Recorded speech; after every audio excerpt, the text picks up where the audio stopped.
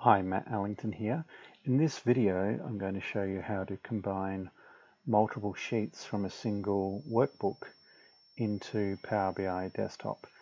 Of course, the approach also works for Power Pivot for Excel and um, other Power Query products. So let me show you my workbook. So I have multiple sheets. Each sheet is in the same format, one for each month. I've got some sheets here that I don't want to import and at some point in time in the future this same workbook is going to be updated to have additional sheets added to it. Okay, so let me close that down and go into Power BI Desktop. I do like to copy the address from here and I'll say get data from Excel put in the path, there's my sheet. I'm going to directly point to this workbook in this case, but uh, you could combine this technique with some of the other techniques I've shared on my YouTube channel. Okay, now here are the sheets that are currently available and there's no option here to select all. Um, and so the trick here is to come up to this folder and right click and select edit because what we don't want to do is load the individual sheets. So we're going to right click and click edit. Okay, so now we see all of the sheets visible in this list here. So we need to do a couple of things. First of all, I'm going to filter out these additional sheets. Now, I don't want to hard code these and say just remove these two sheets. Instead, I'm going to use a text filter and say does not, I should have said does not begin with sheet. And so as you can imagine, that makes it a little bit future proof in case additional sheets get added. Um, it's not going to solve every problem. It's just a better approach. Okay, so now I do want the rest of these sheets. Now, before I do this, I'm going to get rid of some of these columns because I need to keep the name of the sheet because that tells me the month and also I need to keep the data. So now I can expand this and bring in the data and I now need to use the first row as headers.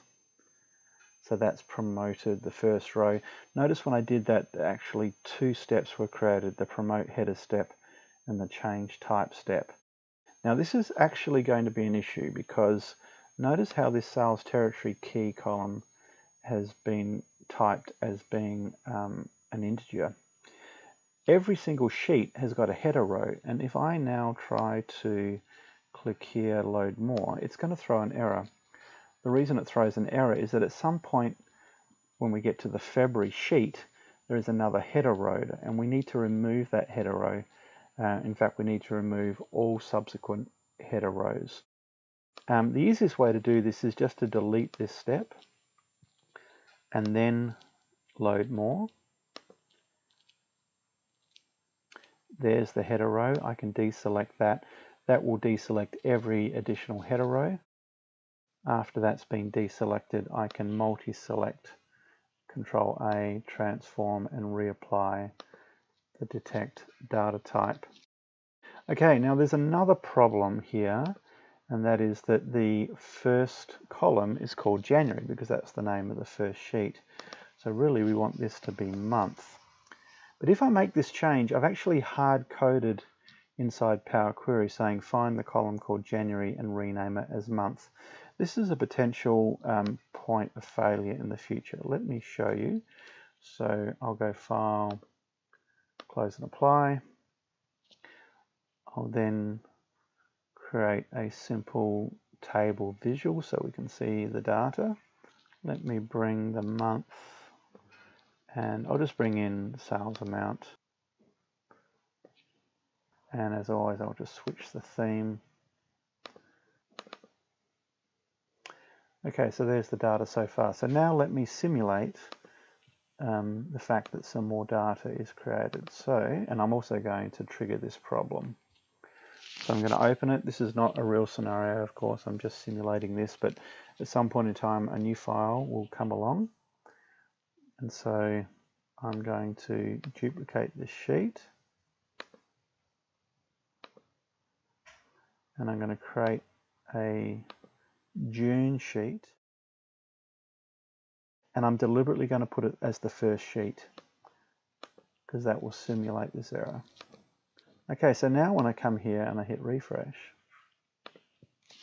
it's going to throw an error because at some stage in my query I said find the column named January and rename it to month.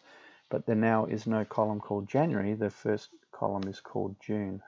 So what we need to do is we need to edit this query so that it uses the relative reference of the first column and not the absolute reference. Okay, so I'm sure there's a few ways of solving this and I'm going to show you the way I like to solve the problem. I'm just going to click refresh preview here because this will trigger the error. Uh, this preview is always cached.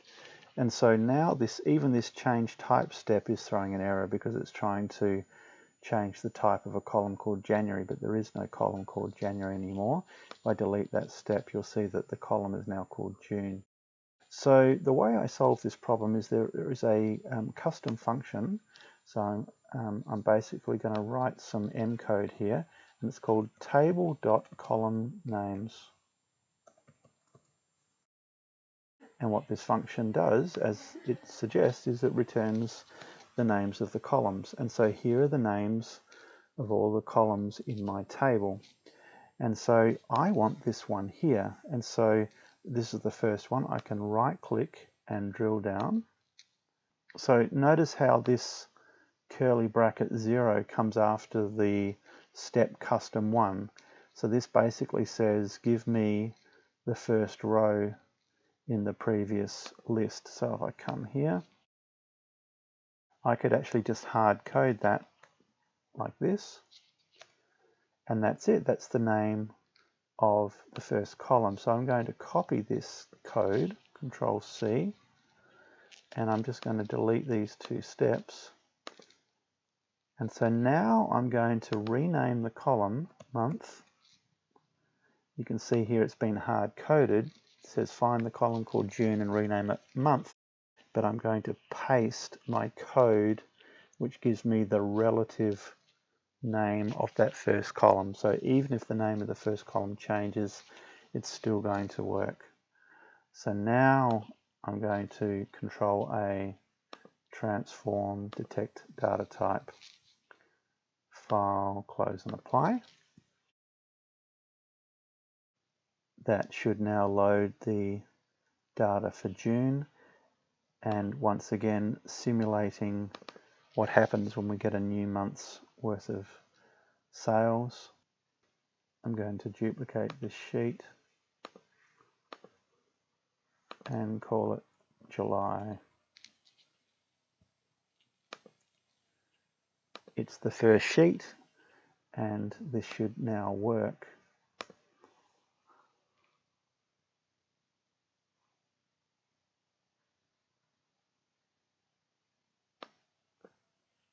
And you can see that it's correctly renamed that column.